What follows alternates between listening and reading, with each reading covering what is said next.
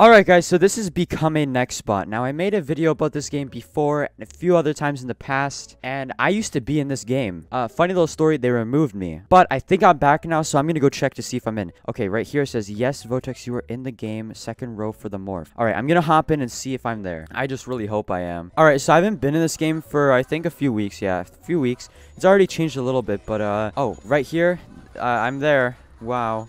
But yeah, we're gonna go ahead and try to find uh, my Nextbot. Let's see. So he said second row, but we're. I don't, I don't know what he means by that. Okay, I already got killed. That's cool. Wow, I'm loving this game so far. I just died twice. All right, Carter, you're gonna be my... You're gonna be my right-hand man for this. We have to figure out if I'm actually in the game. Okay, it should be over here.